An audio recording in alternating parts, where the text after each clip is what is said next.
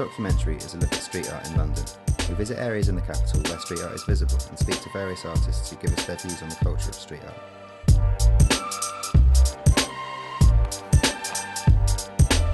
Part one of this documentary is located at South London's Graffiti Kings, where we spoke to artist Julian about his work and street art in the UK. Graffiti Kings run workshops for disadvantaged people in their area, as well as marketing their artworks and undertaking commissions. Let's go outside. It's like most people do. You know, went to school. It was like peer groups. Everybody did graff.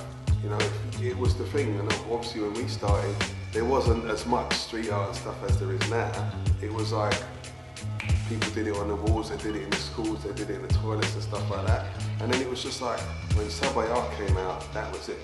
It was just like New York trains. Everybody wanted to just do their stuff in colour. So, you know, I was like 14, 15, those kind of times.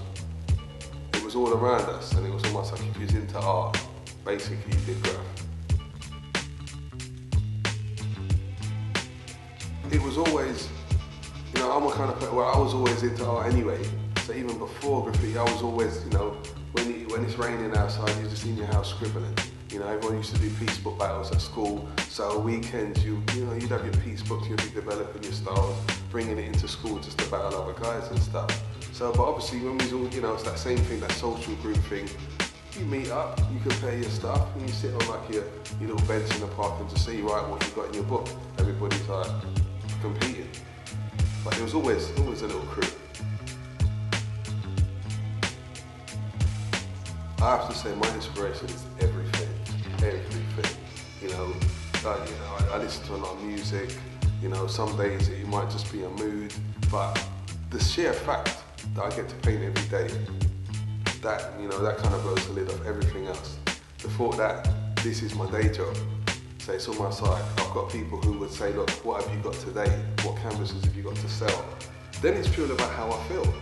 You know, if someone says, right, we need this kind of style, can you do it? Of course I'm gonna get up and do it. Rather than getting on a train and commuting into town to do something which I don't really want to do, I'm gonna come and paint in my studio. Because no one isn't bothering me here, no one isn't running up on me, I'm just being arty in my space.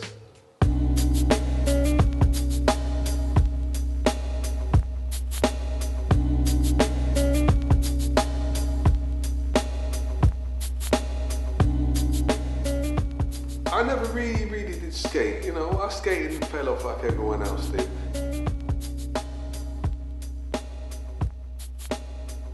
You know, I know, I know a few skaters and stuff. I know a lot of friends that live out in the country where they skate hard because there's nothing else to do.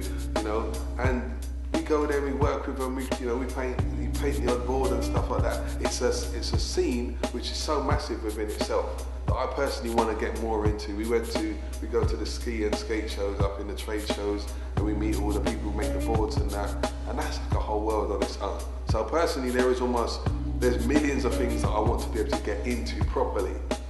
And it's just a matter of the time of day, you know what I mean? Because as I said, the phone keeps on ringing. What you want to do is paint skateboards, but someone's got bedrooms to paint. Someone's got like interiors to paint. You got to do what's there, just to keep the name out there.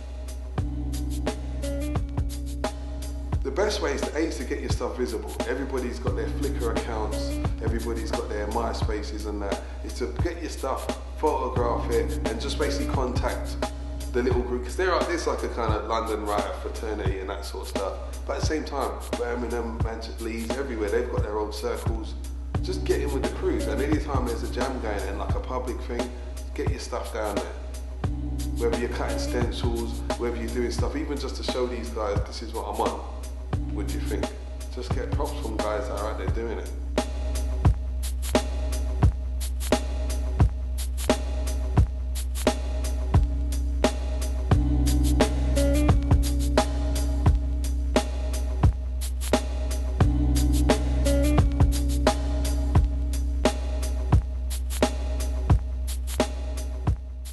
All I'm going to say is that the illegal element is obviously there, but for me, it's almost like a, it, it's almost like yeah, it's that thing about there's an elephant in the room. You know it's there, but we don't really want to talk about it because obviously with our team, we're, we're all about because we work with a lot of young people, we work with a lot of young offenders and stuff, who a lot of them have actually been banged up for doing graft. So it's almost like you've got their wardens or their PRO officers standing there just going, don't say anything about illegal graft or you're out.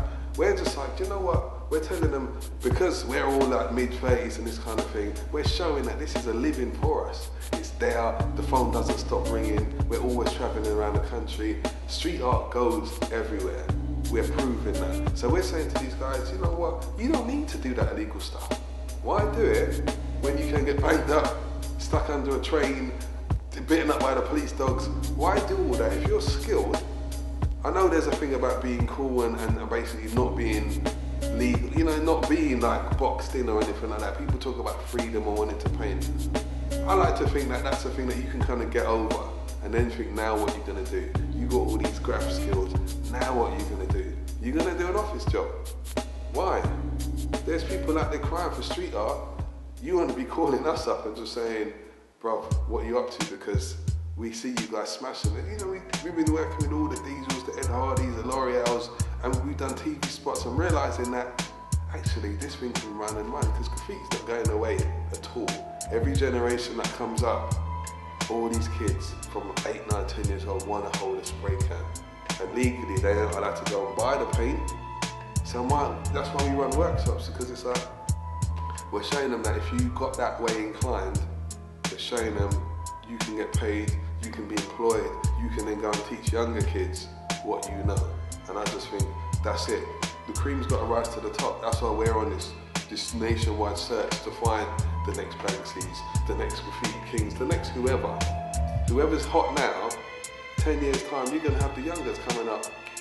They're looking to be the next big thing. So we want to be there to snap them up just to say, you're not doing anything negative. You don't need to don't, like you said, there's a lot of adults, there's a lot of people that just say, we don't want to know about that legal stuff.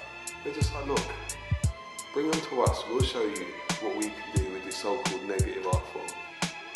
That's our job, representing graffiti on every level. Yeah. Oh yeah,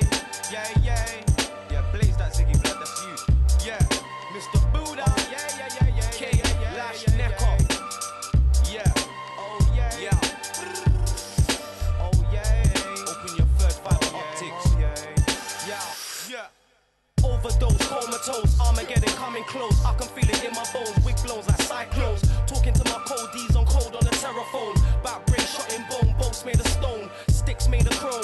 Tears holes through your ribs, tears holes so big you can't repair it with a stitch. It's sick, pain stains my brains like shit. Carve scripts with a bit, spit architect dialect. Dissect your whole set, random select. Lace lyrics in your head like Bex with deck effects. So tread careful steps, my old flex Survive life on one slice of bread. So bridging think twice, my rhymes will take your life. With samurai knives, man attacking from all sides. Sitting silently watching signs from the sideline. Take a slice of my rhyme, use it as a guideline. Got bombs in the pipeline, plotting in the background, waiting for the right time. Till I sight the target. Black bandana, black crips, black garments. Ripping a black gap in the back of your apartment. You barely see the bucky and the boys start bawling. What's squanning? The word on road